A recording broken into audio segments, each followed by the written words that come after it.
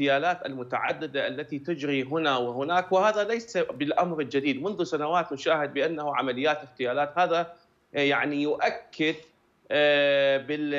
بالملف الأمني الهش ما بين قوسين في العراق وبالتحديد في بغداد. لذلك أنا أعتقد ما شاهدناه اليوم أو يوم أمس حول اغتيال أم فهد كان أمر متوقع وهي يعني لا لا لا يختلف عليه إثنان بأن هناك عمليات أو تصفية حسابات حزبية بين بين حين وآخر نعم. تشهد في العراق لذلك اغتيالات التي شاهدناها هي أمر متوقعه لذلك أنا أعتقد الأيام القادمة سنشهد بالتحديد في عام 2024 سنشهد تصعيد أمني غير مسبوق واغتيالات متعددة هنا وهناك وقد تكون تصفيات حزبية يعني تابعة للقوى السياسية سنشهدها في عام 2024 وهذا أمر مؤكد. لكن لماذا الحكومة لم تردع الجهات التي تقوم بهكذا